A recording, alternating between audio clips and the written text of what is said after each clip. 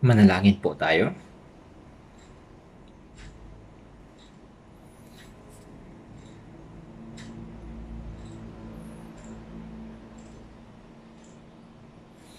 Banal at mahabagin naming Amang Diyos, taos puso po namin kayong pinasasalamatan sa biyayang nagligtas sa amin. Kami na namuhay sa pagsuway at kasalanan ay ginawang banal na mga anak ng Diyos. Salamat din po na kaming may hina at maraming kakulangan ay inyong inaalalayan sa pamamagitan ng inyong hindi nababagong pag-ibig at pinananatili kami sa iglesia iniingatan, tinutustusan, tinutulungan, at ginagabayan na mumuhay sa katotohanan. Salamat po sa pagpahintulot sa mga mahalagang kapatid na naligtas sa pamamagitan ng dugo ng Panginoon na magkatipon sa isang lugar at magkaroon ng pagkisama sa pamamagitan ng banal na salita ng Panginoon. Tulungan mo po kami na maiukit sa aming puso ang salita ng Diyos upang ito ay maging pagkain sa aming puso at makalakad kami sa katotohanan sa pamamagitan ng pagpapatatag ng salita sa aming buhay. Mangyaring punuin niyo po ng karapat dapat na biyaya ang mga banal na wala rito, nasaan man sila ngayon. At samahan mo po ang mga may karamdaman at mga dumaranas ng iba't ibang pagsubok at kahirapan upang hindi sila matisod sa anumang sitwasyon, kundi sa Panginoon lamang umasa, manalig sa Panginoon at lumakad sa katotohanan. Ang pangalawang batch ng summer retreat ay kasalukuyang isinasagawa ngayon sa retreat center. Naway tulungan at gabayan kami ng Panginoon hanggang sa wakas. Naway tulungan ng Panginoon ang bawat kamay na nagdilingkod.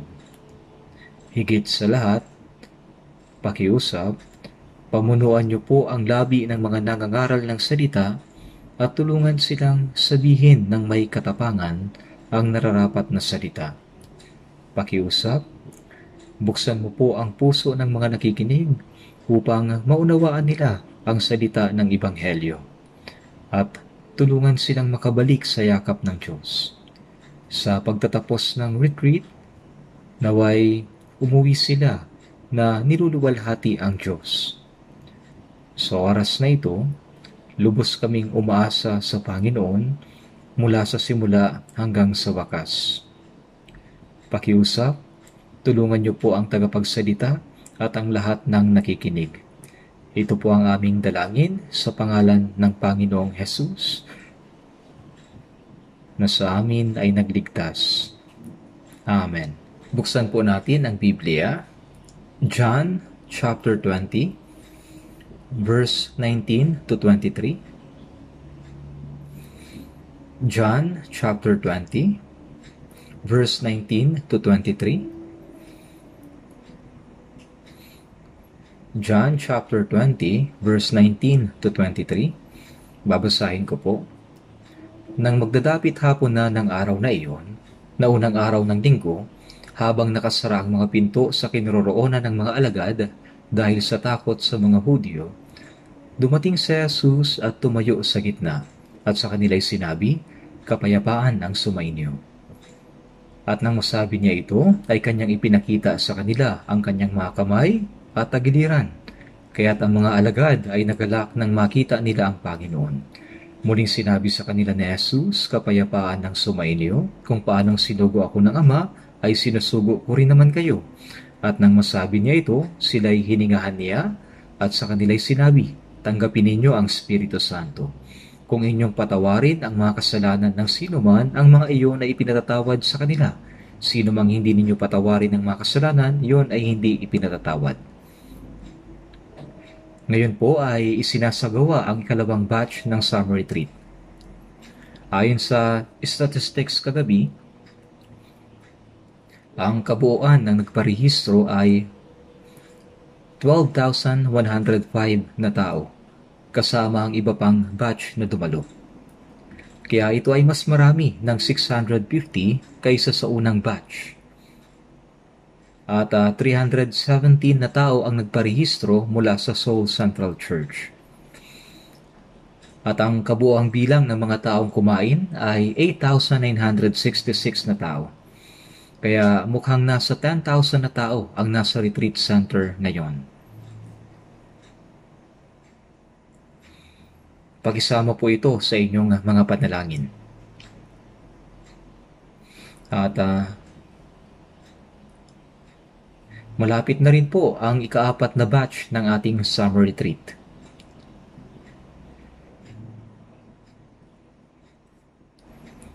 Nagpunta ako sa isang mission trip sa Benin at sigurado akong may mga nanalangin at may mga interesado tungkol dito. Kaya sa tingin ko ay magandang ideya na pag-usapan ito ng saglit. Ang Ebanghelyo ay unang dumating sa Benin noong 2011. Ngayon ay labintatlong taon na ang nakakalipas mula noong dumating ang Ebanghelyo doon.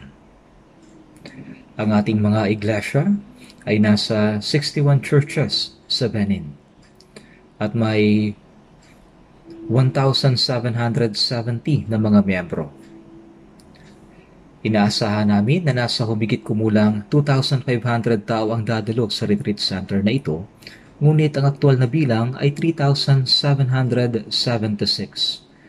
Kung tutuusin, mas marami pa ang dumating kaysa sa inaasahan. Kaya nagrenta tayo ng isang convention venue na kayang magkasya ang humigit kumulang 2,000 tao. Pero hindi natin sila mapagkasya lahat. Kaya walang ibang paraan kundi paupuin ang iba sa hagdan, sa labi sa labas ng first at second floor, at saan mang lugar kung saan pwedeng makaupo ang mga tao. At pagkatapos ay nag-broadcast tayo sa pumamagitan ng video. Ito ang naging sitwasyon doon. At pagkatapos ng tatlong araw ng retreat, may kabuang 438 na tao ang sumulat at nagsumite ng tungkol sa kanilang kaligtasan. Sila mismo ang nagsulat nito at ipinasa sa amin. Pagkatapos ng retreat, 856 na tao ang lumuhok sa New Beginner Training Program. Nagkaroon tayo ng hiwalay na pagsasanay para sa mga ministro at mga leaders. At nasa mga 320 na tao ang dumalo. Kaya mula lunes hanggang biyernes, nagkaroon tayo ng New Beginner Training Program para sa mga bago at pagsasanay para sa mga ministro at mga leader. At noong nakaraang biyernes, humigit kumulang 350 tao ang nabautismohan. Ang aming missionary team ay hinati sa tatlong team at binisita ang 73 pamilya. At uh, binisita ko rin ang nasa 30 pamilya. Nakinig ako sa mga pinakamaraming patotoo ng kaligtasan hanggat kaya ko mula sa bawat pamilyang nabisita ko. Noong uh, nakinig ako sa mga patotoo ng kanilang kaligtasan, narinig ko ang tungkol sa proseso kung paano sila nakalapit sa salita, kung ano ang kanilang naunawaan, at higit sa lahat, sa pamamagitan ng tamang pagsipi ng mga talata ng Ebanghelyo na nagsasabi na mayroon silang totoong kapayapaan at matatag na pananampalataya sa pamamagitan ng matatag na paniniwala sa Ebanghelyo at sila ay naging napakasaya at may kasiguruhan sa kanilang patotoo na sila ay naging mga anak ng Diyos. Nadamo, nadama ko na ang kanilang kaligtasan ay tiyak. At hindi lamang sa Benin, kundi sa buong mundo. Ang mga naliligtas ay naharap sa pag-uusig dahil ang mundong ito ay pinamumunuan ng masama ang Diablo. At ang mga ligtas ay hiwalay sa mundong ito. Kaya maraming pag-uusig tulad ng pagtataboy, pagbabanta, panlilibak, at iba't iba pa. Binisita ko ang bawat bahay at tinanong kung nahihirapan ba sila at kung meron ba silang taimtim na kahilingan o panalangin. Ngunit nakita ko na walang sino man ang nagbahagi sa kanila tungkol sa mga personal at pisikal na paghihirap. Hindi rin lamang nila na ipanalangin ang mga miyembro ng kanilang pamilya na hindi paligtas upang uh, maligtas din sila. Uh, karamihan sa ating mga panalangin ay ang Ibanghelyo ay aktibong maipangaral sa Benin at nawa mas maraming tao ang maligtas. At uh, gamitin sila ng Diyos para sa layuning iyon. Kaya kapag tinanong ko kung mayroon silang anumang mga paghihirap, sinasabi nila, mayroon pong mga kahirapan, pero ayos lang. May mga kapighatian, pero ayos lang. Okay lang dahil may tiyak tayong pag-asa sa langit. Yun ang sabi nila. Ang sabi ng lahat ay okay lang. At kung uh, pakikinggan mo ang kanilang mga patotoo, may mga kahirapan, pero okay lang. Kaya naramdaman ko na napakalaki ng kanilang pag-asa sa langit kahit wala silang anumang mga bagay sa mundo. Gustong gusto nila kapag nababanggit ang salitang langit. Kaya lalo akong nagpapasalamat sa ibanghelyong ito na nagpahintulot sa isang tao na maligtas at mamuhay ng may pag-asa sa langit. Masaya ako. Salamat po sa mga panalangin Hinihiling namin ang inyong patuloy na interes at pakikipagtulungan sa ating pandaigdigang misyon. Ngayon, kung titingnan po natin ang gitnang bahagi ng John chapter 20,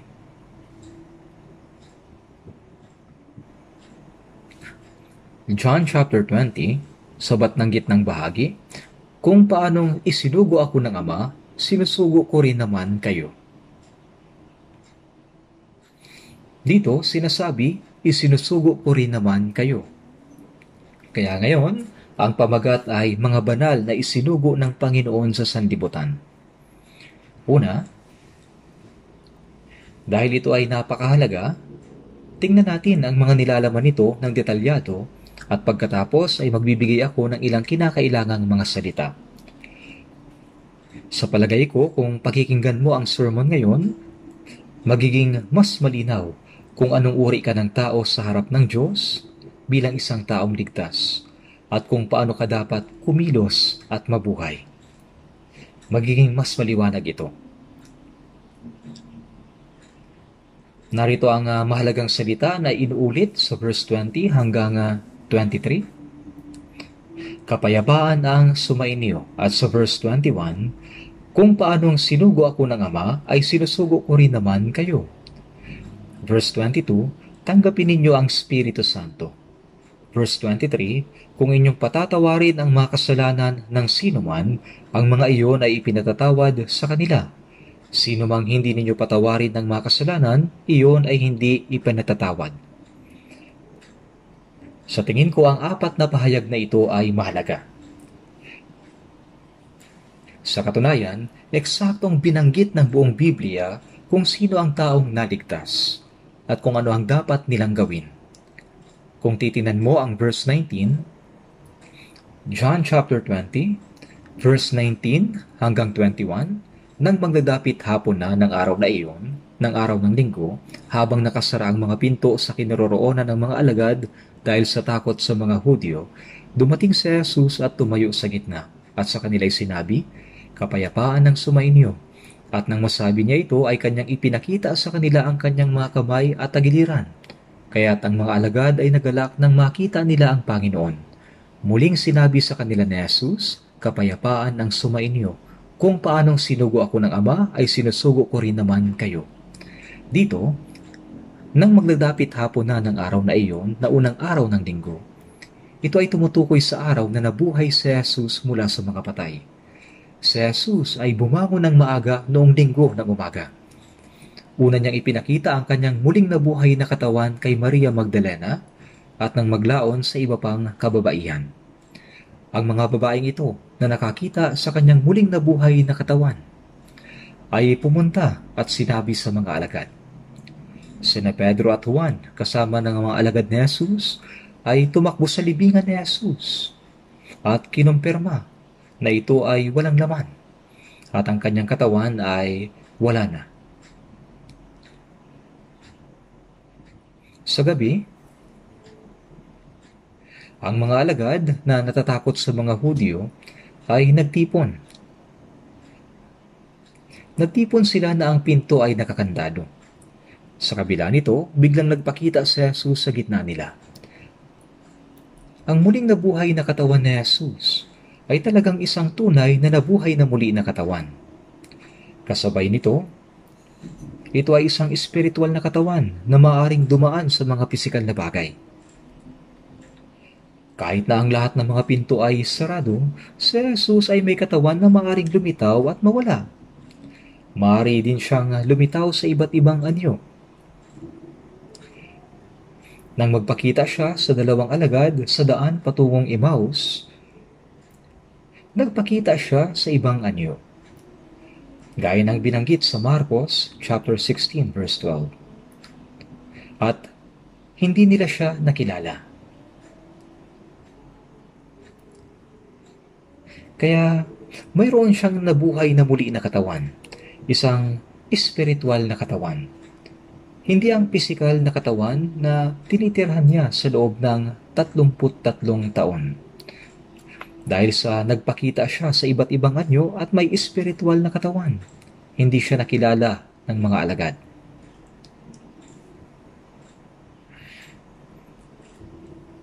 At nang makarating sila sa Emmaus at makapasok sa bahay, pinagpira-piraso nila ang tinapay.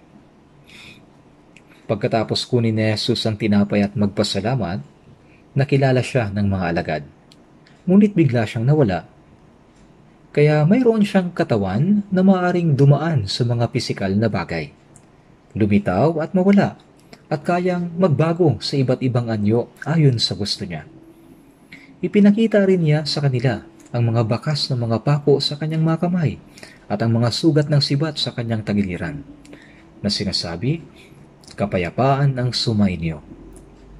Ito nga ay ang kanyang muling nabuhay na katawan na may mga marka pa ng mga pako at sugat ng sibat sa kanyang tagiliran.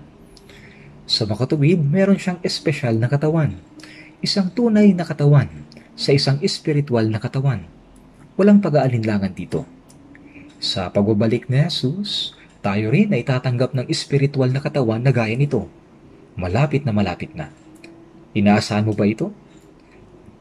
Maaari itong maglaho sa isang iglap. Dumaan sa mga pisikal na bagay. Itong espiritual na katawan Isang katawan na hindi na namamamatay, hindi na mabubulok, at hindi na muling magkakasala.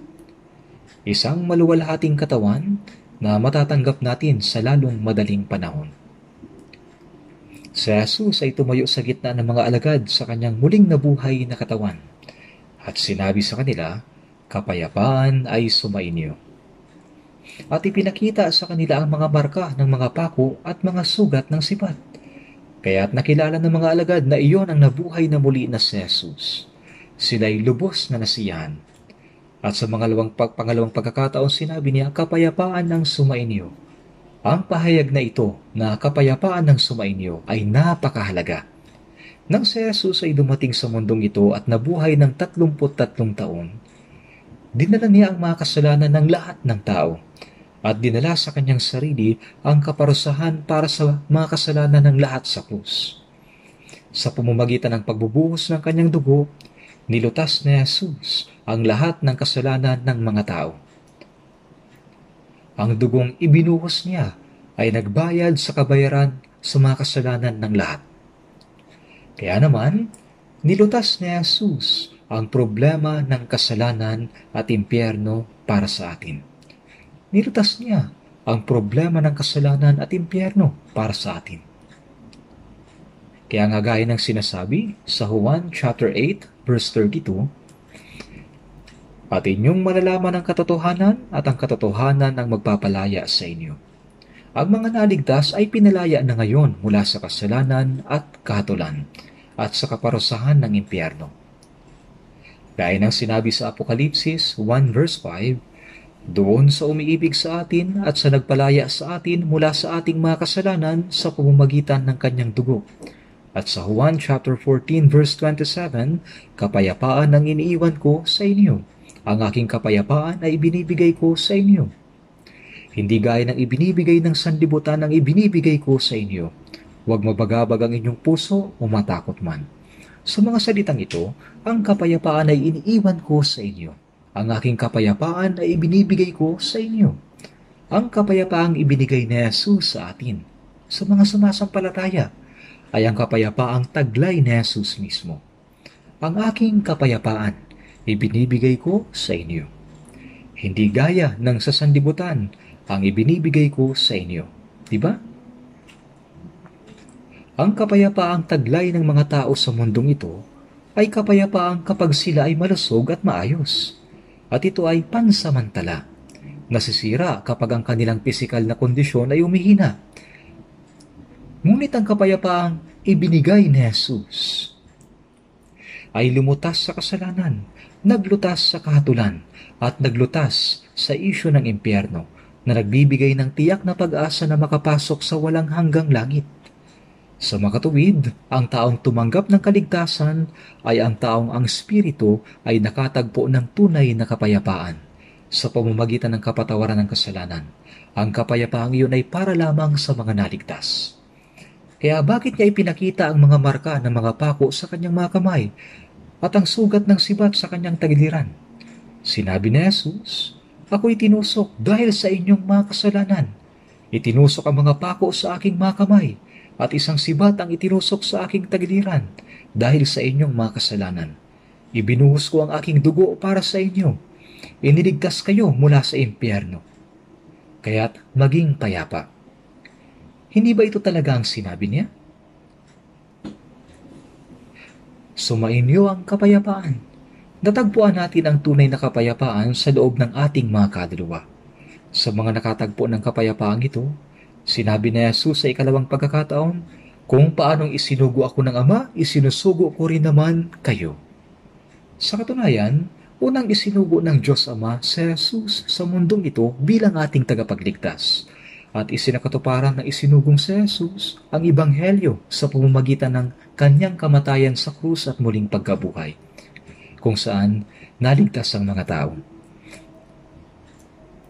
Ngayon, sa pamamagitan ng Ibanghelyong ito, ang mga nakatagpo ng tunay na kapayapaan sa kanilang mga kaluluwa ay sinasabihan na sinusugo ko rin naman kayo. Ang pananalitang ito, sinusugo ko rin naman kayo. Sa simula ay para sa mga alagad ni Jesus, maliban kay Judas Iscariota. Ang ibang uh, mga alagad ni Jesus ay ang mga nakasama niya.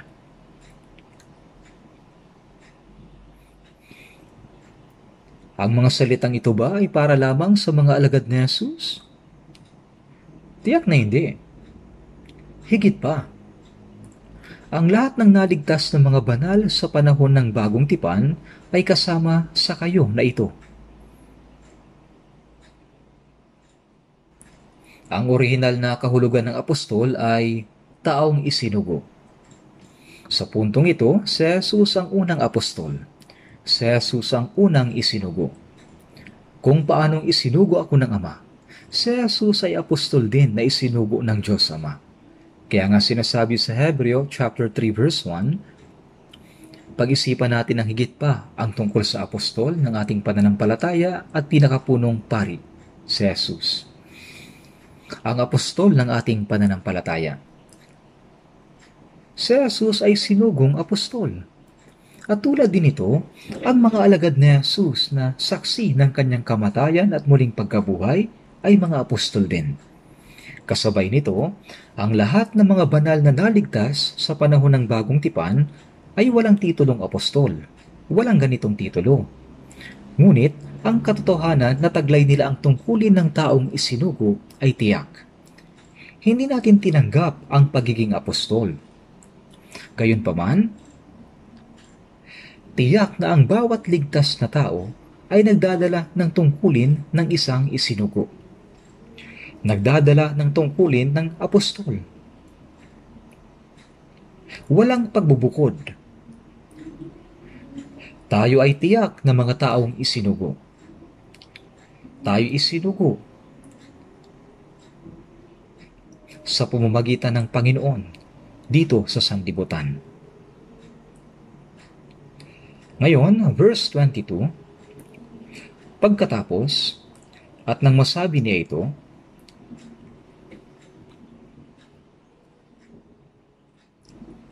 sila'y hiningahan niya at sa kanila'y sinabi, Tanggapin ninyo ang Espiritu Santo. At nang masabi niya ito, sila'y hiningahan niya. Hiningahan niya at sa kanila'y sinabi, tanggapin ninyo ang Espiritu Santo. Hininga ni Jesus sa harap ng kanyang mga alagad. Pagkasabi, tanggapin ninyo ang Espiritu Santo. Hanggang doon lang ba yon? Ngunit ano ba ang dahilan bakit niya hiningahan sila at sinabi, tanggapin ninyo ang Espiritu Santo? Ito ay pwedeng kaugnay sa salita sa Genesis chapter 2 verse 7. Nilalang ng Panginoong Diyos ang tao mula sa alabok ng lupa at hiningahan ang mga butas ng kanyang ilong ng hininga ng buhay at ang tao ay naging buhay na kaluluwa. Sa salin po natin, hiningahan ang mga butas ng kanyang ilong ng hininga ng buhay. Kung inyong titingnan sa ibang salin, kanyang hiningahan ng hininga ng buhay. Ang mga butas ng kanyang ilong, hiningahan ng hininga ng buhay. Ito'y naging buhay na kaluluwa. Hiningahan ng Diyos ng hininga ng buhay ang unang tao na si Adan at siya'y naging buhay na kaluluwa. Ngunit dahil si Adan ay nagkasala sa harap ng Diyos, ang buhay na kaluluwa ay naging patay na spirito. May problema, di po ba? Kaya si Jesus ay dumating at nilutas ang problema ng tao sa kasalanan at impyerno doon sa krus. At ngayon, upang makapagbigay buhay sa mga taong ligtas sa pamamagitan ng pagdating ng banal na spirito, at upang malaman nila na ang patay na spirito ay magiging buhay sa Espiritu, sila'y hiningahan niya. At sa kanila'y sinabi, tanggapin ninyo ang Espiritu Santo. Ang pinaka-problema ng tao ay dahil sa kasalanan. Ang Espiritong buhay ay namatay. Pagkatapos, ang Panginoon ang naglutas ng problema sa kasalanan. Ipinakita ito na tanging sa pagdating ng banal na Espiritu, ang buhay ay ibibigay at ang patay na spirito ay naging buhay na spirito. Sinabi ni Jesus, kanyang hiningahan sa kanyang sarili at sinabi, tanggapin ninyo ang Espiritu Santo. Natanggap ba ng mga alagad ang Espiritu Santo ng oras ting iyon? Ngunit ang Espiritu Santo ay hindi dumating sa panahong iyon. Habang si Jesus ay nasa lupa sa loob ng apat na pung araw, nagpakita siya sa maraming tao na siya ay muling nabuhay. Nagpakita siya sa labindalawang alagad at pagkatapos sa mahigit limandaan na kapatiran ng minsanan at pagkatapos ay umakyat sa langit doon sa bundok ng mga olibo habang nakatingin ang mga alagad sa kanya. Ayon sa Magawa chapter 2, sampung araw pagkatapos ng pag-akyat ni Jesus, iyon ay ikalimampung araw mula sa araw na muling nabuhay si Jesus.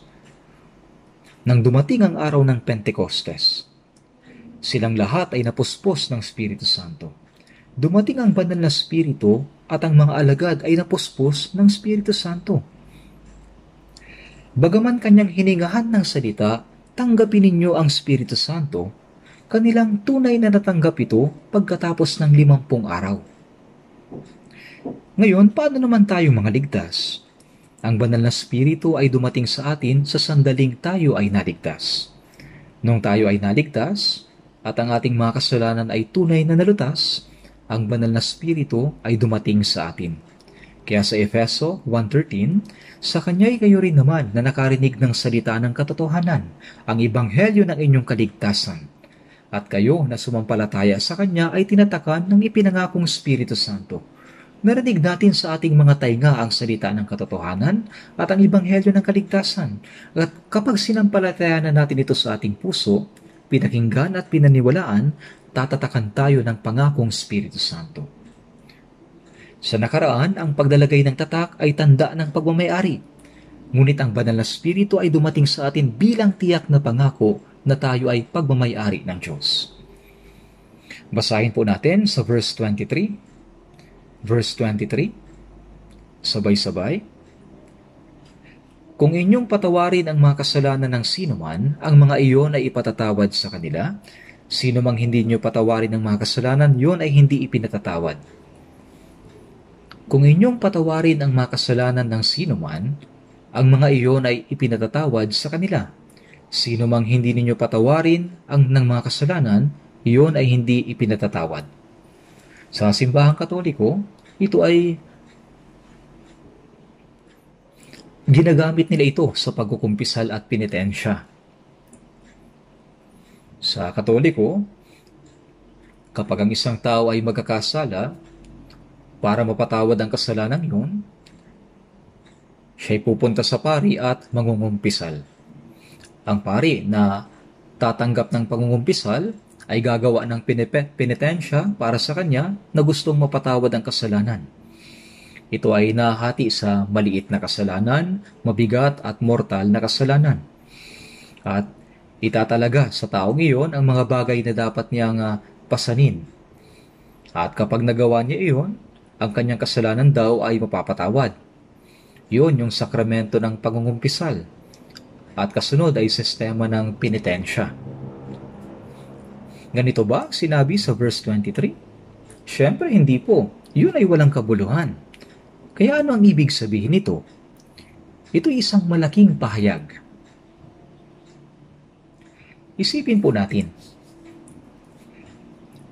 Sinasabi dito, kung inyong patawarin ang mga kasalanan ng sino man, ang mga iyon ay ipinatatawad sa kanila. Ito ay isang malaking pahayag. Sino mang hindi ninyo patawarin ang mga kasalanan, iyon ay hindi ipinatatawad. Ibig sabihin, kung ipapangaral mo ang ibanghelyo ng kaligtasan na ginawa ni Jesus sa isang tao, at tutulungan ang taong iyon na maligtas, kapag siya ay naligtas, ang walang hanggang pagtubos ay magaganap sa kanya at ang kanyang mga kasalanan ay mapapatawad. Subalit kung hindi mo ipangaral ang ibanghelyo sa taong iyon at hahayaan mo lang siya, mananatili sa kanyang kasalanan at mapupunta siya sa impyerno. Sa ibang salita, kung tutulungan nating makaunawa ang isang tao sa pamamagitan ng pangangaral ng Ibanghelyo, ang kanyang kasalanan ay mapapatawad. Ngunit kung pababayaan lang natin siya at hindi ipapangaral ang Ibanghelyo, ang kanyang kasalanan ay mananatili. Kaya ito ay may kinalaman sa evangelism. Sino ba ang kausap dito ni Jesus? Sino itong ninyo? Sino po? Hindi kayo sumasagot? Sino po? Bawat isa sa atin na nakaupo dito. Itong napakalaking autoridad ay ibinigay hindi lamang sa mga apostol, kundi sa atin din na mga naligtas. Ito ay kamanghamanghang pribilehiyo. Siyempre, hindi ibig sabihin at pwede nating patawarin ang kasalanan ng iba o ang kasalanan mo napatawad na, hindi yun pwedeng mangyari. Ang autoridad na yon ay sa Diyos lamang at kay Jesus. Sinabi ni Jesus sa lumpo, Anak, pinatawad na ang iyong mga kasalanan. Ang Diyos ay may autoridad na gawin yon. Kahit na wala tayong karapatan na gawin yon, binigyan tayo ng kamanghamangang pribilehiyo at autoridad na makatulong sa pamamagitan ng pagpapalaganap ng Ibanghelyo. Kaya ang una dito ay kapayapaan ang sumainyo. Ngayon, tatanungin ko po kayo, may kapayapaan ka ba sa iyong kaluluwa? Kung gayon, tanggapin ninyo ang Espiritu Santo. Tinanggap ninyo ang Espiritu Santo, di ba? Kung paanong sinugo ako ng Ama, sinusugo ko rin naman kayo. Nakamit ko ang kapayapaan at natanggap ko ang Espiritu Santo. Hindi ba tayo sigura, sigurado kung tayo ay sinugo? At ano ang pinakaimportanteng dahilan bakit tayo isinugo sa mundong ito? Tayo ay isinugo para patawarin ang mga kasalanan. Yun ay mapatawad ang kasalanan, maligtas at maging anak ng Diyos. Ang importanteng bagay na dapat nating gawin ay patawarin ang mga kasalanan. Isinugo tayo para ipalaganap ang Ibanghelyo upang ang kasalanan ay mapatawad ang mga tao ay pwedeng maligtas at makapasok sa walang hanggang langit kung ipapangaral natin ang Ibanghelyo. Pag-isipan natin saglit ang verse 21. Sa huling bahagi ng verse 21, basahin po natin. Kung paanong sinugo ako ng Ama, basahin natin mula rito. Kung paanong sinugo ako ng Ama ay sinusugo ko rin naman kayo Sinabi ni Jesus kung paano ang sinugo ako ng Ama. Noong si Jesus ay nasa sandibutan, alam niya na sinugo siya ng Ama. At meron siyang misyon. Alam niya ito. Si Jesus ang isinugo. Meron siyang malinaw na layunin. Kanyang sinabi na sinugo siya ng Ama. Sa Ebanghelyo ni Juan, binilang ko. Sinubukan kong bilangin. Sa Ebanghelyo ni Juan, Inulit-ulit ni Jesus ang Ama na nagsugo sa akin. Paulit-ulit halos apat na pong beses. Kahit na ang Ebanghelyo ni Juan ay hanggang 21 chapters lang, ibig sabihin paulit-ulit na sinabi ni Jesus na sinugo ako ng Diyos. Dalawang beses bawat chapter. Inulit-ulit niya, Ako'y sinugo ng Diyos. Ako'y sinugo ng Diyos. Kaya tingnan po natin ang ilang verses. John chapter 5 verse 36. John chapter 5 verse 36.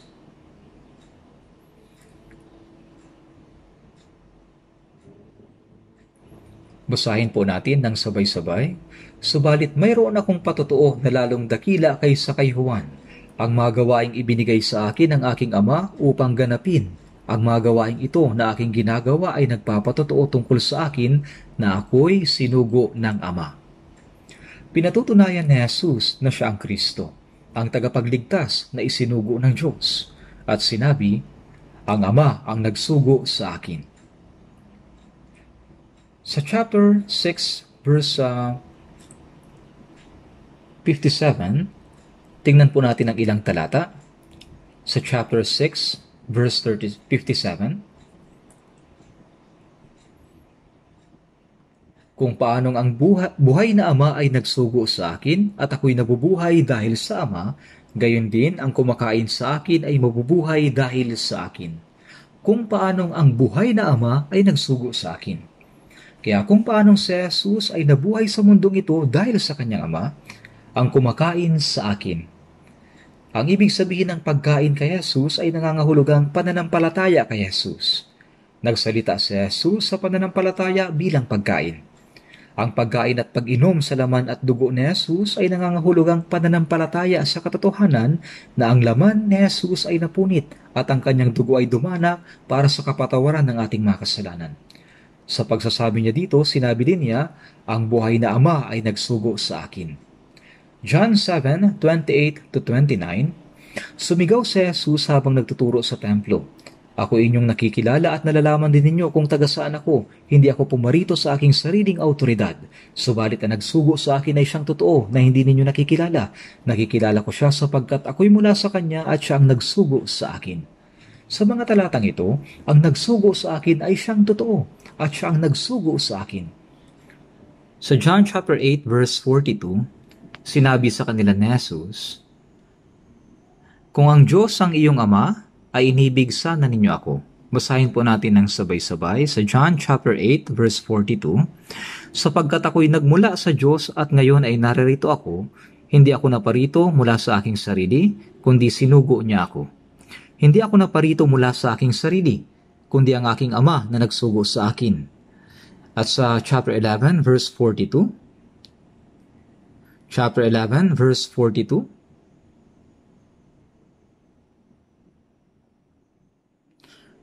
chapter 11, verse 42.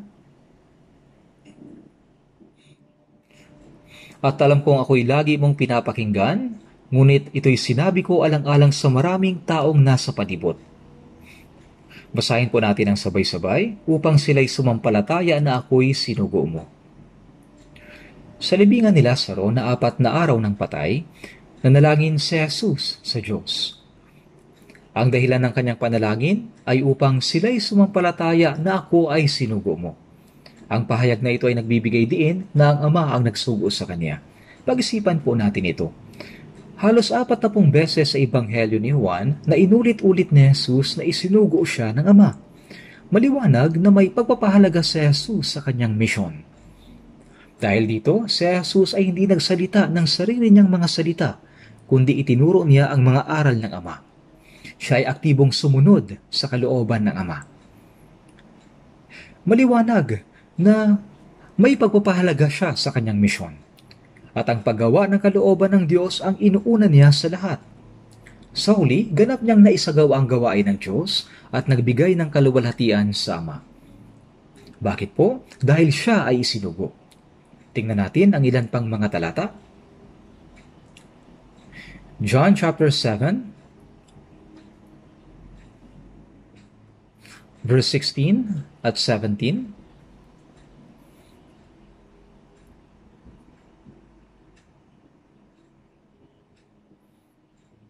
John chapter 7 verse 16 at 17. Basahin po natin ng sabay-sabay. Sinagot sila ni Jesus, ang turo ko ay hindi akin, kundi sa Kanya na nagsugo sa akin. Kung ang sino man ay nagnanais gumawa ng kalooban ng Diyos, ay makikilala niya kung ang turo ay mula sa Diyos o kung ako'y nagsasalita mula sa aking sarili. Ang aking turo ay hindi mula akin, ito ay galing sa Kanya na nagsugo sa akin. Lahat ng mga salita na sinabi ni Jesus ay mga turo mula sa Diyos na ipinarating niyang nang direkta sa Kanya. Sinabi ni Jesus na kapag ang isang tao ay merong puso na gawin ang kalooban ng Diyos, siya ay merong kakayahang unawain kung ang turo ay mula sa Diyos o siya ay nagsasalita lamang mula sa kanyang sarili. Ang dahilan kung bakit sinabi niya ito ay dahil sa panahong iyon, ang mga Hudyo ay merong lumang tipan lamang. Ang mga nagbabasa ng lumang tipan at pamilyar dito ay malalaman kung ano ang kalooban ng Diyos. Kung alam ng isang tao ang lumang tipan at susubukang mamuhay ayon sa kalooban ng Diyos na ipinahayag dito, malinaw, malinaw nilang maunawaan na ang mga turo ni Jesus ay ganap na nakaayon sa lumang tipan. Kaya sinabi ni Jesus, kung ang sino man ay nagnais gumawa ng kalooban ng Diyos, ay makikilala niya kung ang turo ay mula sa Diyos o kung ako'y nagsasalita mula sa aking sarili. Si Jesus ay hindi nagsalita ng kanyang sariling mensahe, kundi ipinarating ang mga turo at salita na nag-iisang nagsugo sa kanya. John chapter 4 verse 34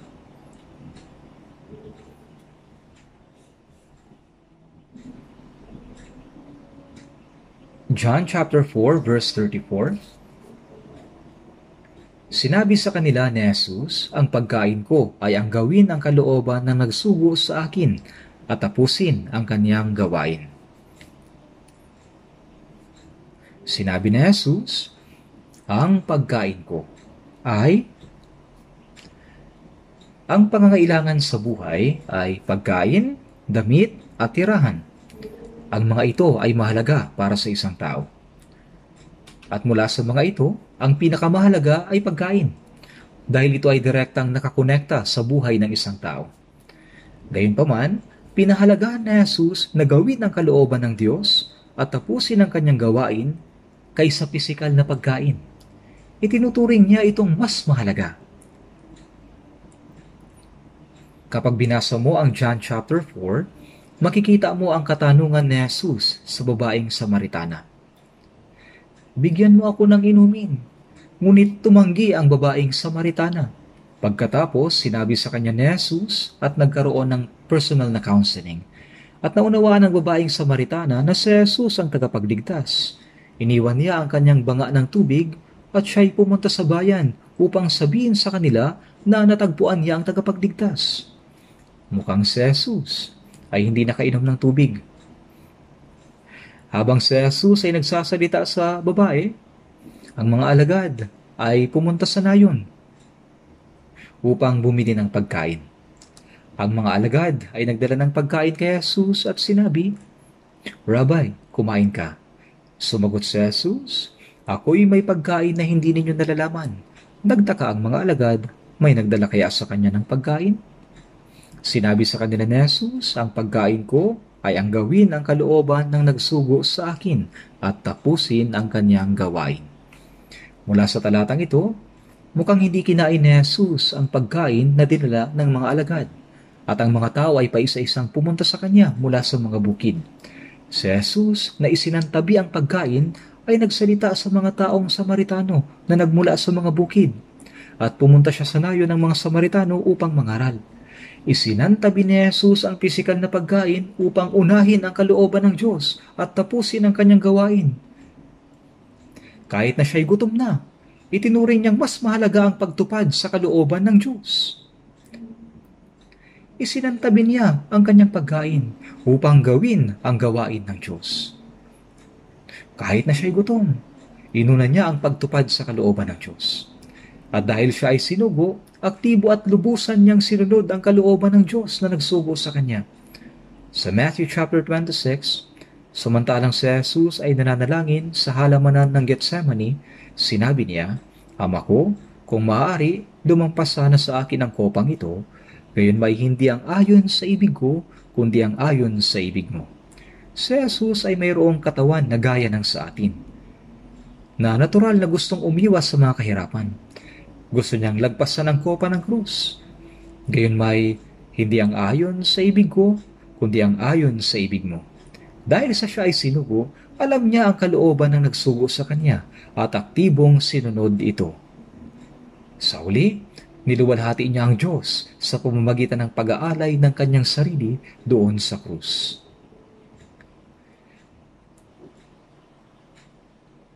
Kaya basahin po natin sa John chapter 17 verse 4. John chapter 17 verse 4.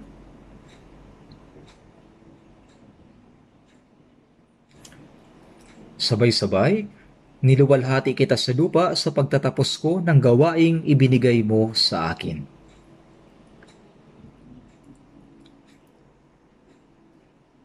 Niluwalhati kita sa lupa sa pagtatapos ko ng gawaing ibinigay mo sa akin. Tinupad ito ng pampublikong ministeryo ni Jesus at sa pamamagitan ng kusang loob na paghahandog ng kanyang sarili doon sa krus at pagkumpleto sa Ebanghelyo, tinupad niya ang kalooban ng Ama at niluwalhati ang Diyos. Sa John chapter 8 verse 29, At siya na nagsugo sa akin ay kasama ko. Hindi niya ako pinababaya ang nag-iisa sapagkat lagi kong ginagawa ang mga bagay na kalugod-lugod sa Kanya. Palagi niyang ginagawa ang mga bagay na nakakalugod sa Ama. Si Jesus din ang unang isinugo at naging unang apostol. Kaya mula sa pananaw ng isang isinugo, itinuro niya ang katuruan ng Diyos na nagsugo sa Kanya. Bilang isang isinugo, aktibo niyang sinunod ang kalooban ng Diyos na nagsugo sa Kanya. Inuna niya ang pagtupad sa kalooban at gawain ng Diyos ng higit sa anumang bagay. Sa huli, ganap niyang naisagawa ito at naluwalhati niya ang Diyos.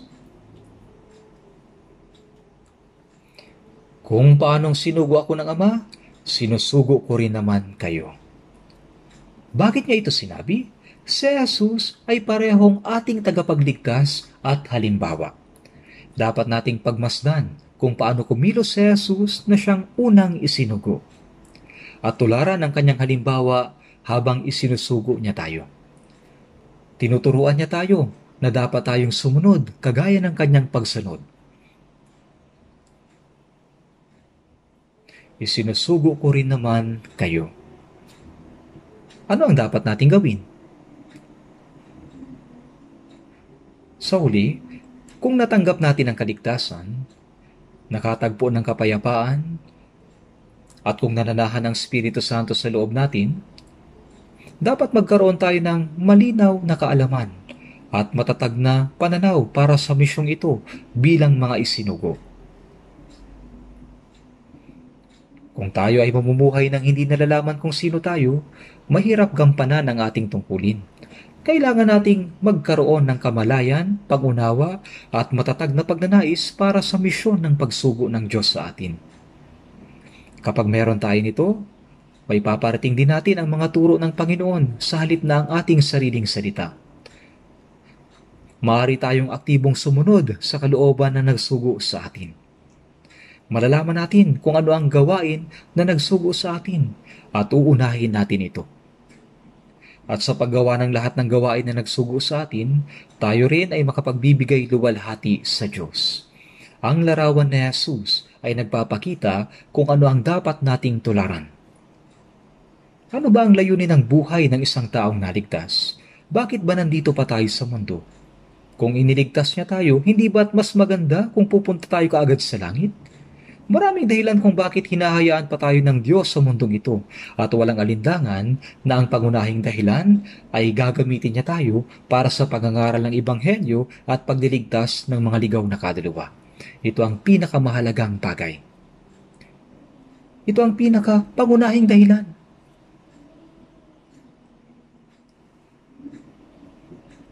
Kung inyong patawarin ang mga kasalanan ng sinuman, ang mga iyon ay pinatatawad kung patawarin ninyo ang kasalanan ng sino man, ito ay pinatatawad sa kanila. Kung pinanatili ninyo ang kasalanan ng sino man, ito ay mananatili. Hindi ba't ito isang pribilehiyo at dakilang responsibilidad? Kung hindi natin ibinabahagi ang ibanghelyo sa mga taong nakapaligid sa atin, mananatili ang kanilang kasalanan.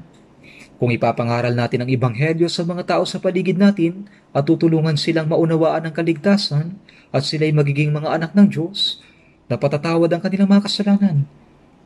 Binigyan tayo ng isang misyon na parehong pribilehiyo at napakadakilang responsibilidad.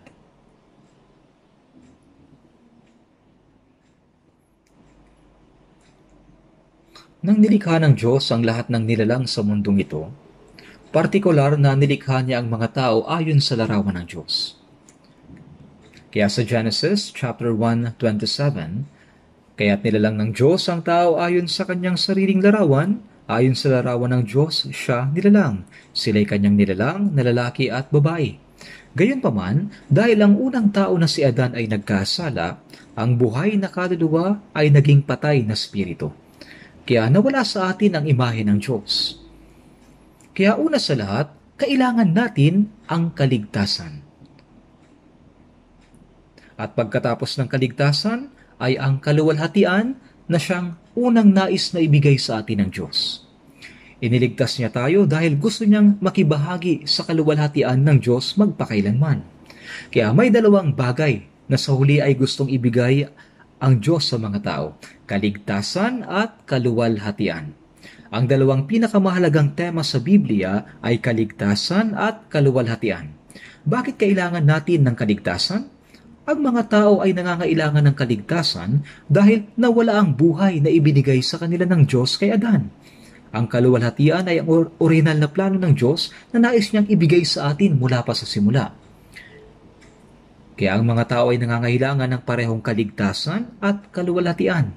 At si Jesus ay unang dumating at nagbigay ng kaligtasan sa pamamagitan ng pagtupad ng Ibanghelyo ng kaligtasan sa pamamagitan ng kamatayan sa krus at muling pagkabuhay. Ngayon, sa Efeso chapter 1 verse 3, Purihin nawa ang Diyos at Ama ng ating Panginoong Yeso Kristo na siya nagpala sa atin kay Kristo ng bawat pagpapalang espiritual sa sangkalangitan. Nais niyang ibigay sa atin ang bawat espiritual na pagpapala sa mga makalangit na lugar. Kaya ang pagnanais ng Diyos na bigyan tayo ng kaligtasan at kaluwalhatian ay ipinakita ng detalyado sa buong Biblia. Kabilang sa mga ito ay binasa natin sa John chapter 17 bago tayo nagsimula. At ang John chapter 17 ay ang kwento ng panalangin ng pamamagitan ni Jesus. Bilang ating pinakapunong pari at tagapamagitan sa Diyos at sa mga tao, nag-alay si Jesus ng panalangin ng tagapamagitan. Ang panalangin na mamagitan na inialay ni Jesus sa John chapter 17 ay iba sa panalangin inialay sa halamanan ng Gethsemane. Ang panalangin na kanyang idinalangin sa halaman ng Gethsemane ay isang panalangin upang sundin ang kalooban ng Diyos at isuko ang kanyang sarili bilang isang isinugo ng Diyos.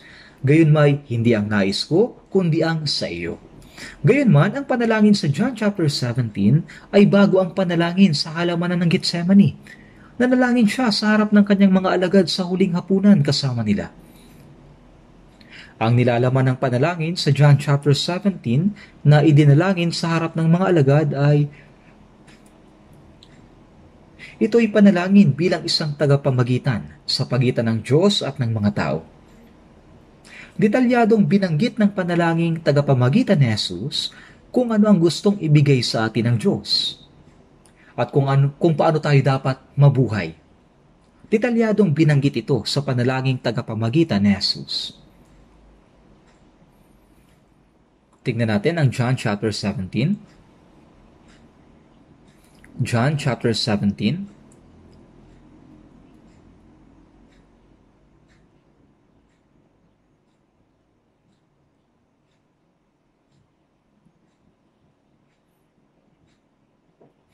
John chapter 17. Ang nilalaman ng panalangin ito ay para sa tao at ito'y nagsisimula sa buhay na walang hanggan at nagtatapos sa kaluwalhatian. Ang panalangin ay nagsisimula sa buhay na walang hanggan at nagtatapos sa kaluwalhatian. Sa madaling salita, ito ay nagsisimula sa kaligtasan at nagtatapos sa kaluwalhatian. Siyempre, totoo na ang unang talata na kanyang idinadalangin na para sa Diyos ay para sa kaluwalhatian ng Diyos at sa mga maluwalhating bagay ng Diyos. Gayunpaman, bilang tagapamagitan sa pagitan ng Diyos at ng mga tao, siya ay nanalangin muna para sa buhay na walang hanggan. At pagkatapos ay kaluwalhatian. Tingnan natin sa John chapter 17, verse 2 at 3. John chapter 17, verse 2 at 3. Yamang binigyan mo siya ng autoridad sa lahat ng laman upang bigyan niya ng buhay na walang hanggan ang lahat ng ibinigay mo sa kanya. At ito ang buhay na walang hanggan, na ikaw ay makilala nila na isang Diyos na tunay at sa Yeso Kristo na iyong sinugo. Sa verse 2, upang bigyan siya, upang bigyan niya ng buhay na walang hanggan. At ang verse 3 ay nagbubuod sa buhay na walang hanggan. Ang buhay na walang hanggan ay ang makilala. Sa partikular, merong dalawang bagay. Ang tunay na nag-iisang Diyos at sa Yeso Kristo na kanyang isinugo. Kung tunay mong naunawaan at pinaniniwalaan na kanyang isinugo si Jesus bilang tagapagligtas upang iligtas ang mga tao, pagkatapos ay sinabi na iyon ay buhay na walang hanggan. Nanalangin siya para sa buhay na walang hanggan sa unang pagkakataon. Bakit una siyang nanalangin para sa buhay na walang hanggan? Dahil lahat ng kabilang kay Adan ay naligaw. Dapat silang maligtas at magkaroon ng buhay na walang hanggan. Ang pinakamahalaga at kinakailangang bagay para sa mga tao ay ang buhay na walang hanggan. Ano pa ba ang mas mahalaga kaysa rito? Kung nanonood ka ng TV sa mundong ito, pinag-uusapan nila ang iba't ibang mga paksa. Ngunit ang higit na kailangan ng mga tao ay ang buhay na walang hanggan. Ngunit hindi nila pinag-uusapan ang tungkol dito. Ang nilalaman ng kanilang talakayan ay talagang makalupa lamang. Ngunit sa katunayan, ang higit na kailangan ng mga tao ay buhay na walang hanggan. Nais ng Diyos na bigyan tayo ng buhay na walang hanggan. Kung kilala natin ang Diyos at kilala at naniniwala tayo kay Heso Kristo, meron tayong buhay na walang hanggan. Kaya dinala ni Jesus ang kanyang mga alagad sa loob ng tatlo at kalahating taon at ipinakilala sa kanila ang Diyos at siya ang Kristo. Kaya ginawa niya muna ito upang ang mga alagad ay maligtas at maging pag-aari ng Diyos. Ang mga ito ay nasa verse 8 at 9. Tingnan natin ito sapagkat ang mga salitang ibinigay mo sa akin ay ibinigay ko sa kanila at kanilang tinanggap at totoong nalaman na ako'y nagmula sa iyo at naniwala silang ikaw ang nagsugo sa akin. Idinadalangin ko sila, hindi ang sandibutan ang idinadalangin ko, kundi para doon sa mga ibinigay mo sa akin sapagkat sila'y iyo. Ang lahat ng sa akin ay iyo at ang sa iyo ay akin at ako'y naluluwalhati sa kanila.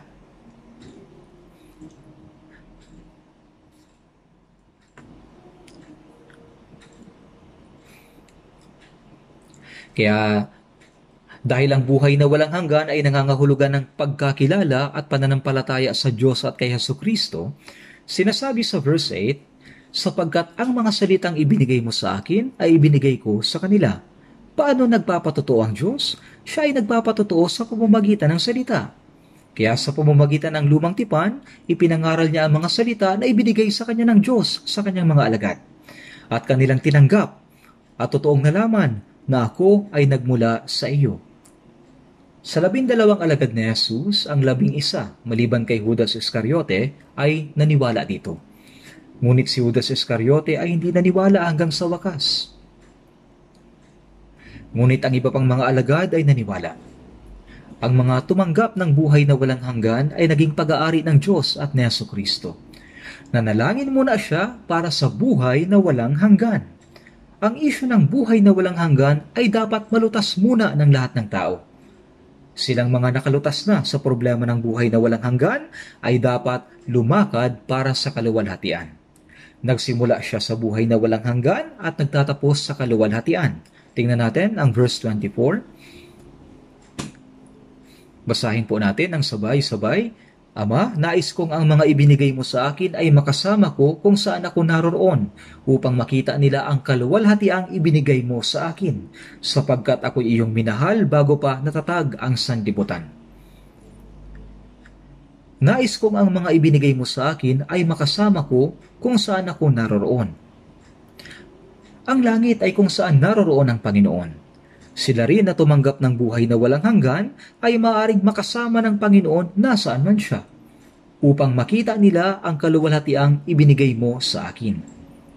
Ang makita na binabanggit dito ay hindi nangangahulugan na makita lang, kundi makibahagi sa kanyang kaluwalhatian. Nais niyang makibahagi tayo sa kanyang kaluwalhatian. Sa huli, ay naroon tayo sa lugar kung nasaan ang Panginoon at tayo ay makikibahagi sa kaluwalhatiang iyon. Kaya ang simula ay buhay na walang hanggan at ang wakas ay kaluwalhatian. Kaya malinaw nating nakikita na nais niyang ibigay ang kaligtasan at kaluwalhatian sa mga tao. May mga bagay pa ako na nais sabihin. Sa awit 62 verse 7, sinabi ni David ang dalawang bagay tungkol sa kaligtasan at kaluwalhatian. Nasa Diyos ang aking kaligtasan at aking karangalan, ang aking makapangyarihang bato, ang Diyos ang aking kandungan. Sinabi niya na ang Diyos ang kanyang kaligtasan at ang kaluwalhatian ay nasa Diyos. Bukod dito, sa ikalawang Timoteo 2.10, sinabi ni Apostol Pablo, Aking tinitiis ang lahat ng mga bagay dahil sa mga hinirang upang kamtan din nila ang kaligtasan kay Kristo Jesus na may kaluwalhatiang walang hanggan. Dito, tinutukoy ang mga Israelita.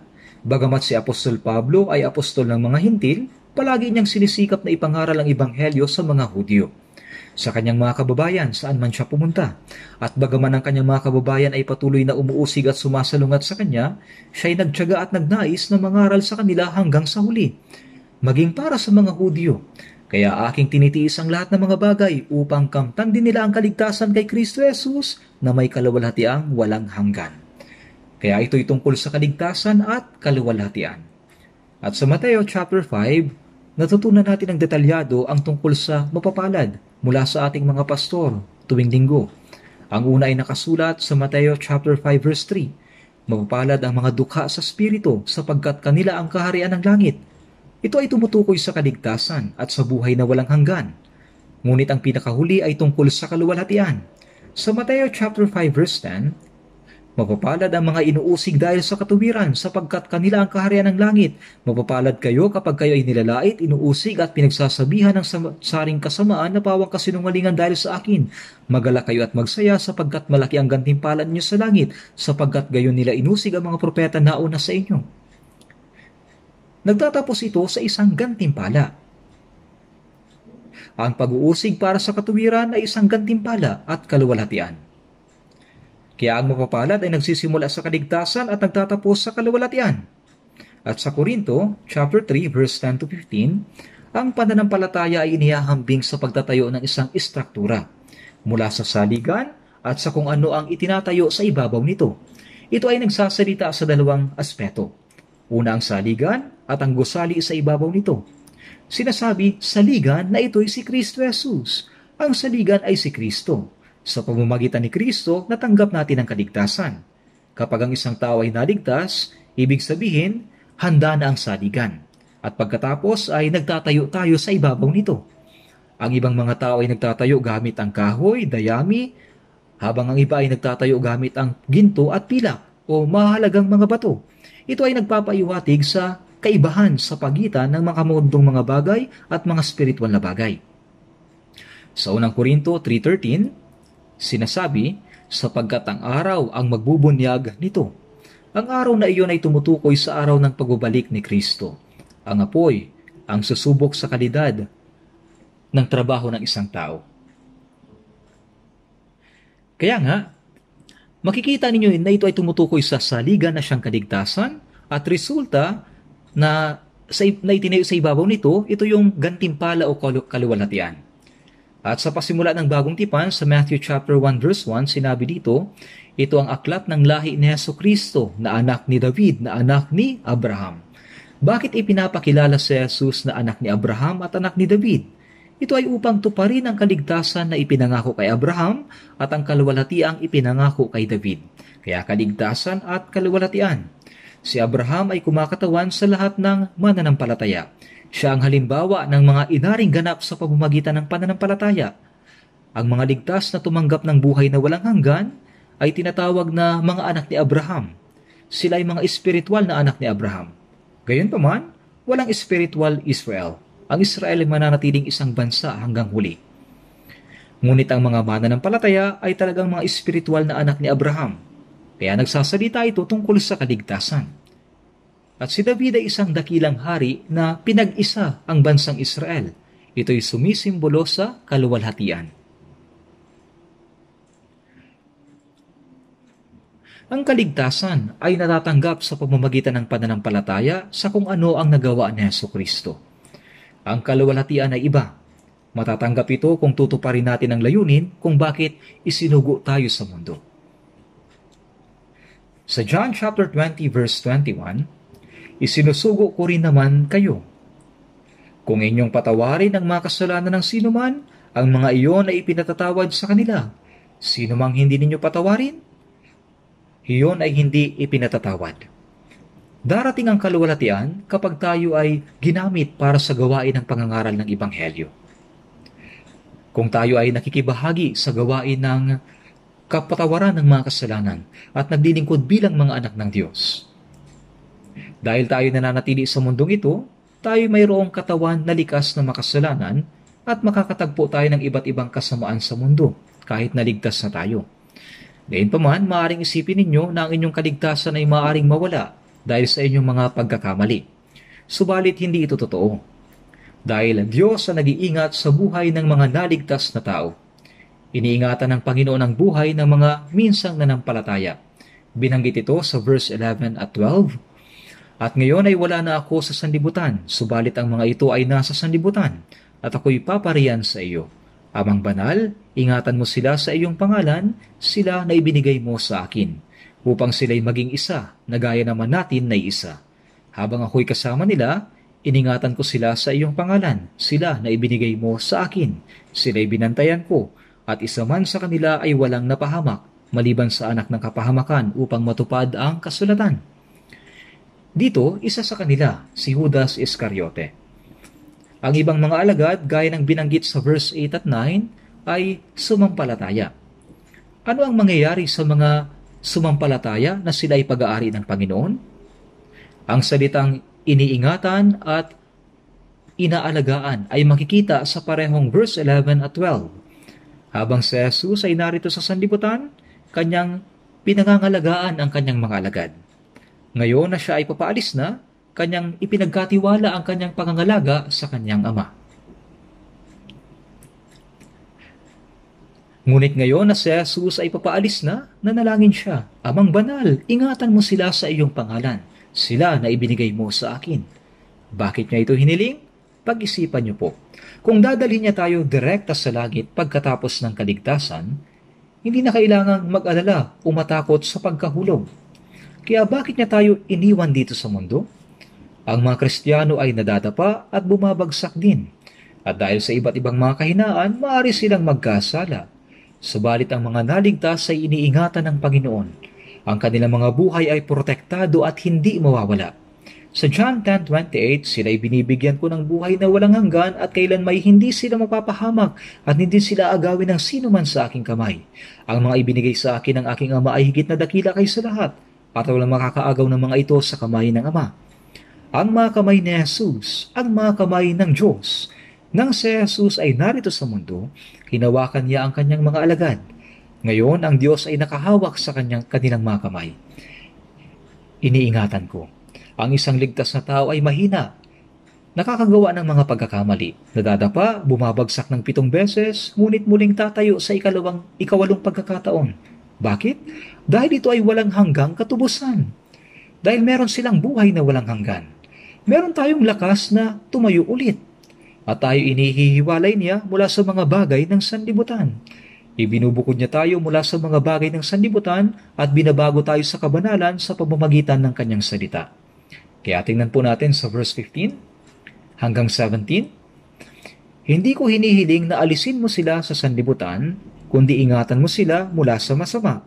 Hindi sila taga-sanlibutan, nagaya ko na hindi taga-sanlibutan Pabanalin mo sila sa katotohanan, ang salita mo'y katotohanan.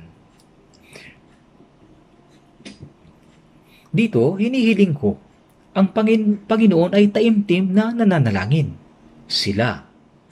Ang sila ay ang mga taong tumanggap ng buhay na walang hanggan. Hindi ko hinihiling na alisin mo sila sa sanlibutan. Mabuti kung kukunin ka agad ng Panginoon ang isang ligtas sa tao, di po ba? Sabi dito, hindi ko hinihiling na alisin mo sila sa sanlibutan Hindi kalooban ng Diyos na kunin tayo agad-agad. Ito ang kalooban ng Diyos na ilagay tayo sa mundong ito upang ingatan tayo mula sa pagkahulog sa masama, sa mga kasalanan ng sanlibutan. Ito ang kalooban ng Diyos na baguhin tayo sa kabanalan sa pamamagitan ng salita at pagkatapos, bakit tayo inilagay ng Diyos sa mundong ito? Bakit niya tayo inilagay at binabago sa kabanalan sa pamamagitan ng salita? Ito ay upang ipangaral ang Ibanghelyo. Ito ay upang tayo ay magamit sa pagpapalaganap ng Ibanghelyo. Sinabi niya ito pagkatapos niyon. Tingnan natin sa verse 18 hanggang 20 kung paano ako'y isinugo sa sanlibutan, sila ay sinugo ko rin sa sanlibutan. At dahil sa kanila'y pinabanal ko ang aking sarili upang sila naman ay pabanalin sa katotohanan. Basahin po natin, verse 20, Gayon man, hindi lamang sila ang idinadalangin ko, kundi sila rin naman ng mga sumasampalataya sa akin sa pamamagitan ng kanilang salita, upang silang lahat ay maging isa, gaya mo Ama na sa akin at ako'y sa iyo sana sila'y manatili sa atin upang ang sanlibutan ay sumampalataya na ako'y sinugo mo, upang ang sanlibutan ay sumampalataya na ako'y sinugo mo. Kung paanong isinugo ng Ama si Jesus sa verse 18, sinabi rin ni Jesus na isinugo niya tayo sa sanlibutan. Bakit tayo isinugo ng Diyos sa sanlibutan? Ang dahilan kung bakit isinugo tayo sa mundo ay upang ang sanlibutan ay sumampalataya na ako'y sinugo mo. Inilagay niya tayo sa mundong ito upang ang mundo ay tumanggap ng kapatawaran ng mga kasalanan at bumalik sa Diyos at magkaroon ng buhay na walang hanggan. Dapat ay huwag po nating kalimutan na ang pinakauna at pinakamahalagang layunin kung bakit iniwan tayo ng Diyos sa mundong ito pagkatapos maligtas ay upang ipalaganap ang ibanghelyo ng kapatawaran ng mga kasalanan at gamitin ang bawat isa sa atin para sa layuning ito. Dahil kung hindi, mabuting pumunta na agad sa langit, agad-agad. Wala nang ibang dahilan na manatili pa sa mundong ito. Sinabi ng Panginoon, hindi ko inihiling na alisin mo sila sa sanlibutan. Ito ay upang protektahan ng Panginoon ang buhay ng isang ligtas na tao mula sa pagkawala. Ibinukod siya na malayo mula sa sanlibutan, binabago siya, at sa huli ay gagamitin siya para sa layuning ito. Kaya nga, tinawag ng Diyos si Abraham mula sa Ur ng mga Kaldeyo at ipinadala siya sa lupain ng Kanaan. Bakit? Siya ipinadala para sa planong kaligtasan ng Diyos. At sa pamamagitan ng isang tao na nagngangalang Jose, siya ay unang ipinadala ng Panginoon bilang isang alipin sa Ehipto upang iligtas ang Israel mula sa tagutom at ang lungsod ng Ehipto mula sa tagutom. At ginawang alipin ng Panginoon ang mga Israelita sa Ehipto sa loob ng apat na raang taon. At pagkatapos ay iniligtas sila mula roon. Dinala sila sa lupain ng Kanaan at inilagay sila sa lupain ngayon. Sa madaling salita, pinangunahan sila. Pinangunahan sila ng Panginoon palabas sa Ehipto at dinala sila sa lupain ng Kanaan Dinala ng Panginoon si Apostol Pablo sa Roma bilang isang bilanggo sa ilalim ng pagdiditis. Bakit? Upang ipangaral ang Ebanghelyo sa Roma.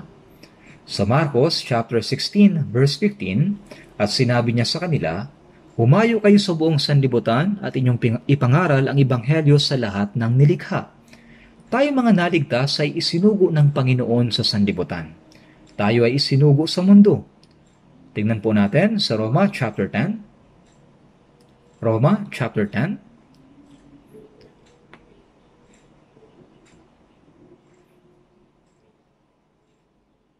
Babasahin ko po Roma chapter 10 verse 13 to 15.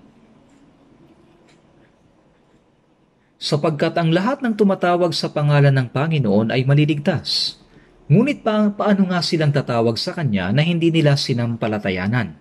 At paano sila sasampalataya sa Kanya na hindi nila napakinggan? At paano sila makikinig kung walang mangangaral?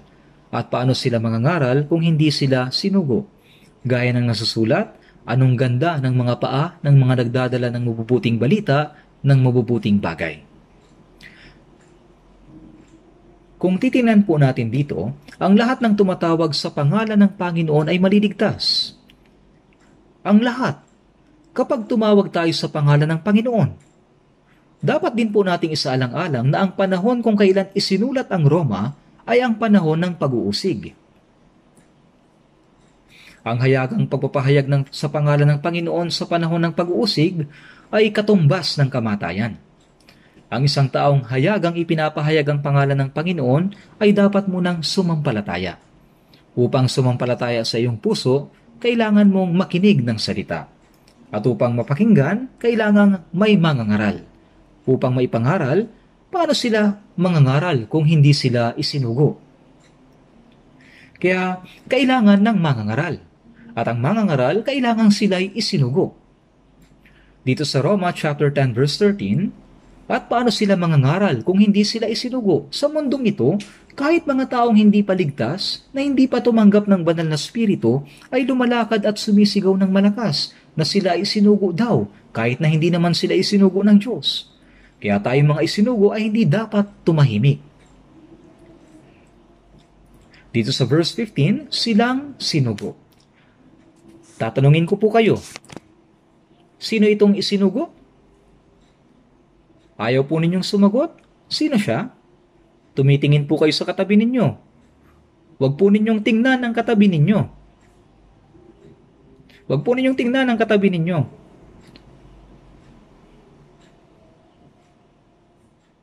Ako, bawat isa sa atin ay isinugo. Kailangan nyo itong pag-isipan ng mabuti. Ako ay taong isinugo ng Diyos. Bawat isa sa atin ay isinugo ng Diyos. Ito ay isang kamanghamanghang pribilehiyo na isinugo sa ganitong paraan. Pag-isipan po ninyo itong mabuti. Madalas itong sabihin ni Pastor Johan Lee. Kahit na isang siyentipiko na naglulunsad ng satellite, ay hindi magagawa ito. Hindi ito isang bagay na magagawa ng isang siyentipiko na maipalaganap ang ibanghelyo at tulungan ang mga tao na maligtas. Di ba? Hindi ito isang bagay na kayang gawin kahit pa ng mahusay na doktor. Hindi rin ito isang bagay na kayang gawin ng CEO ng isang malaking korporasyon. Tama? Hindi rin kayang gawin ng mga politiko at ng presidente, di ba? Maging isang general na may libu-libong sundalo ay hindi kayang gawin ito. Ito ay isang bagay na magagawa lamang ng isang taong naligtas. Ito ay isang kamanghamanghang prebeleheyo. At paano sila mangangaral kung hindi sila isinugo? Hindi lamang ang mga apostol, kundi ang lahat ng mga naligtas ay isinusugo ng Diyos sa mundo. Tayo ay tumanggap ng ganoong misyon. Ito ay prebeleheyo at tungkulin na kailangan nating gawin. Tingnan po natin sa Biblia. Ikalawang Korinto, chapter 5, verse 2.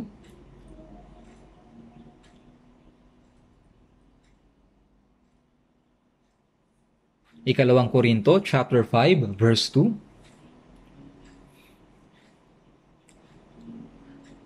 Mula chapter 5 verse 17 hanggang chapter 6 verse 2. Ito ay medyo mahaba ngunit babasahin ko ito. Kaya't kung ang sino man ay na kay Kristo, siya ay bagong nilalang, ang mga lumang bagay ay lumipas na, tingnan ninyo ang lahat ay naging bago. Lahat ng ito ay mula sa Diyos na tayo pinagkasundo niya sa kanyang sarili sa pamamagitan ni Kristo at ibinigay niya sa amin ang ministeryo ng pagkikipagkasundo. Sa makatuwid, kay Kristo ay pinagkasundo ng Diyos ang sanlibutan at ang kanyang sarili na hindi ibinibilang sa kanila ang kanilang mga kasalanan at ipinagkatiwala sa amin ang salita ng pagkikipagkasundo. Kaya't kami ay mga sugo para kay Kristo Yamang ang Diyos ay nananawagan sa pamamagitan namin, kami nananawagan sa pangalan ni Kristo na kayo makipagkasundo sa Diyos. Para sa ating kapakanan, ginawa niyang may kasalanan, siya na hindi nakakilala ng kasalanan, upang sa Kanya tayo maging katuwiran ng Diyos. Basahin po natin sa chapter 6, verse 1 at 2. Yamang gumagawa kaming kasama niya, nananawagan din kami sa inyo na huwag ninyong tanggapin ang biyaya ng Diyos ng walang kabuluhan, sapagkat sinasabi niya, sa panahong kanais-nais ay pinakinggan kita at tinulungan kita sa araw ng kaligtasan. Ngayon na ang panahong kanais-nais, ngayon na ang araw ng kaligtasan. Kung titingnan natin dito sa verse 17, tayo ay dating nasa labas ni Kristo. Ngunit sa pamamagitan ng Ebanghelyo, naunawaan natin ang katotohanan, at tayo ay naging isa kay Kristo at naging mga bagong nilalang. Ngayon, ang luma ay naging bago. Ang lumang tao ay namatay na at ang bagong tao ay lumitaw. Ang banal na spirito ay pumasok sa atin at lumikha ng isang bagong panloob na pagkatao. At sa verse 18, na ibinigay niya sa amin ang ministeryo ng pakikipagkasundo. Kung tayo ay bagong nilalang, kailangan natin ang bagong gawain. Binigyan niya tayo ng espesyal na gawain, ang gawain ng pakikipagkasundo. Binigyan niya tayo ng posisyon na pagkasunduin ang tao sa Diyos. Hindi lamang niya tayo binigyan ng posisyon, kundi binigyan din niya tayo ng mga salitang kaya nating ihatid bilang isang may posisyon. Sa verse 19, ipinagkatiwala sa amin ng salita ng pakikipagkasundo. Binigyan niya tayo ng posisyon at ng salita. Kaya sa verse 20, kaya't kami ay mga sugo para kay Kristo. Yamang ang Diyos ay nananawagan sa pamamagitan namin, kami nananawagan sa pamamagitan ni Kristo, na kayo'y makipagkasundo sa Diyos tayo ay mga sugo kay Kristo. Kaya, mga kapatid, ano ba ang dapat isipin ng isang tao kapag ipinadala siya sa ibang bansa bilang ambassador o sugo? Dahil siya ay isang taong isinugo, hindi ba dapat unahin niya ang kapakanan ng bansa na nagsugo sa kanya? Gayunpaman, kung ang isang tao na ipinadala bilang ambassador ay walang interes sa bansa at nakatuon lamang ang kanyang pansin sa mga personal na gawain. Hindi ito tama. Ito ay pareho lang pagdating sa pananampalataya. Iniligtas tayo ng Diyos. Ginawa tayo mga bagong nilalang. Binigyan tayo ng gawain ng pakikipagkasundo. At ipinagkatiwala sa atin ang salita ng pakikipagkasundo. At isinugo tayo bilang mga sugo. Tayo ay mga sugo ni Kristo. Sa makatuwid, tayo ay mga kamanggagawa sa Diyos. Gayunpaman, kung isasantabi natin ang gawain ng Diyos para sa sarili nating gawain, hindi ito magiging angkop sa mata ng Diyos. Kaya sinabi sa ikalawang Korinto chapter 6 verse 2, sa panahong kanais-nais pinakinggan kita at tinulungan kita sa araw ng kaligtasan. Ngayon na ang panahong kanais-nais, ngayon na ang araw ng kaligtasan. Nabubuhay po tayo sa panahon ng biyaya, panahon ng iglesia, ang panahon na ito ay magtatapos na sa ilang sandali. At darating ang oras na hindi na tayo makakapagbahagi ng Ibanghelyo kahit na gustuhin pa natin. Kaya ngayon na. Ang ngayon ay isang bagay na dapat gawin natin ngayon. Ang lahat ng mga naligtas ay dapat magkaroon ng isang malinaw na misyon na nagsasabing, ako ay isang tao na isinugo ng Diyos. Kaya ang lahat ng naligtas ay mga ibanghilista ang pagkakaiba lang ay kung ginagawa nila ito bilang isang full-time na trabaho o isinasagawa nila habang sila'y nagtatrabaho.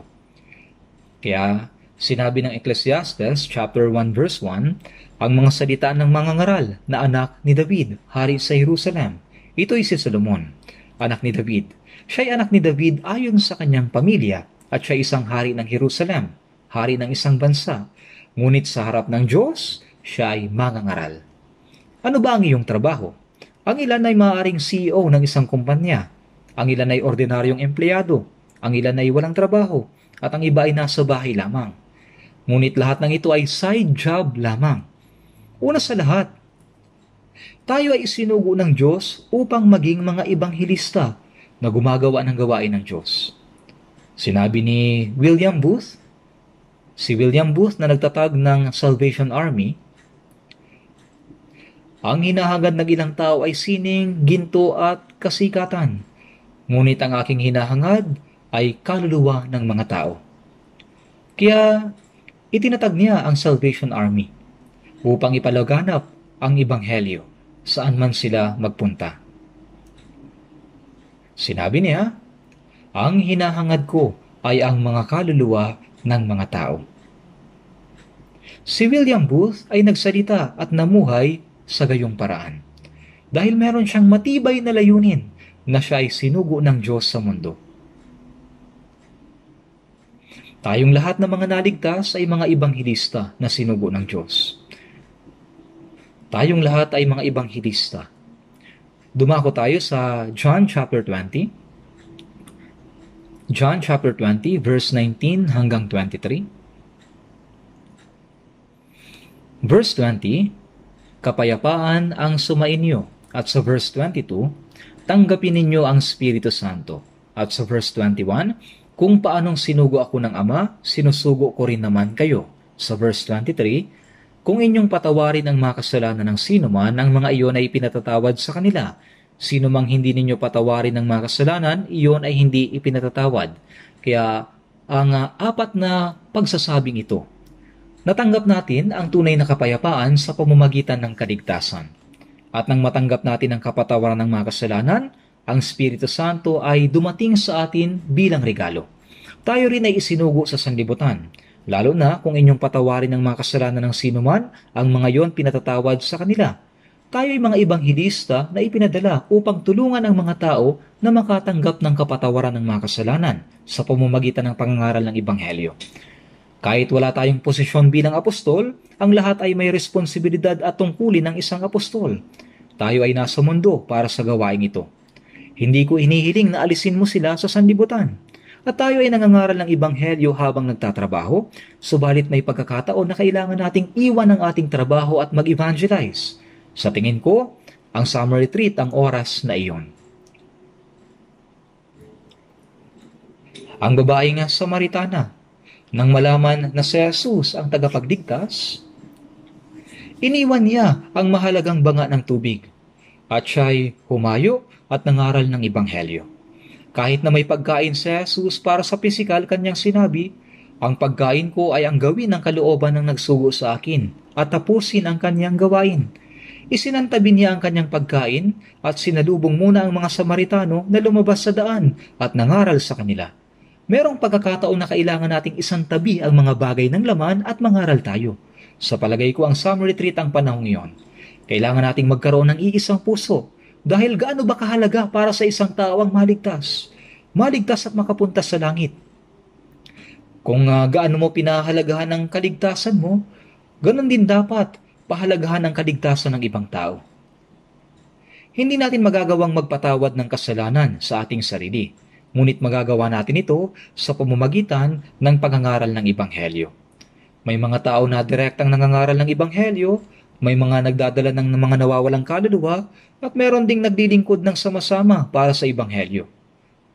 Masdan ninyo ang inyong paligid at inyong tingnan ang mga bukid na mapuputi na upang anihin. Sinabi ni Jesus, ang mga kaluluwa na lumalabas sa bukid ay mga hinog na para anihin. Ginagawa din natin ito sa retreat center. Una, maraming ligtas na mananampalataya na nakakilala kay Jesus ang nagdadala ng hindi bababa sa 1,500 na bagong kaluluwa sa Gongju Retreat Center sa bawat batch ng retreat. Ang lahat ng mga kaluluwang yon ay mapuputi na upang anihin. Kung ipapangaral natin sa kanila ang Ebanghelyo at mauunawaan nila ito, sila ay magiging butil, hindi ba? Hinihiling ko po sa inyo na makilahok sa gawain ito ng pag-aani patungo sa buhay na walang hanggan. Manalangin na po tayo. Salamat po Diyos. Salamat sa pagtuturo sa amin sa pamamagitan ng mga salita kung anong uri ng mga tao dapat kami at kung paano kami dapat mabuhay. Ipinahayag niyo po sa amin kung paano kayo nabuhay bilang unang isinugo. Pakiusap, tulungan niyo po kami na sumunod sa halimbawa ng Panginoon upang aming maunawaan ang misyon ng mga isinugo at sumunod sa Panginoon. Maraming mga kaluluwa ang nagtitipon para sa summer retreat sa oras na ito. Kaya pakiusap, tulungan mo po kami na magkaisa ang aming mga puso para sa gawain na ito. At inihiling po namin na maraming mga kaluluwa ang maligtas sa pagkakataong ito. Nang sa gayon ay maluwalhati ang Diyos at naway pagkatapos ng ikapitong batch kami ay makapagbigay ng dakilang kaluwalhatian at papuri sa Diyos. Gamitin mo po kaming lahat ng mahalaga at tulungan kami para sa gawaing ito. Higit mo po po kaming tulungan upang kami ay makapamuhay sa aming mga buhay na may katinoan sa misyon na kami ay isinugo ng Diyos. Idinadalangin po namin ito sa pangalan ng Panginoong Yeso Kristo na sa amin ay nagligtas. Amen.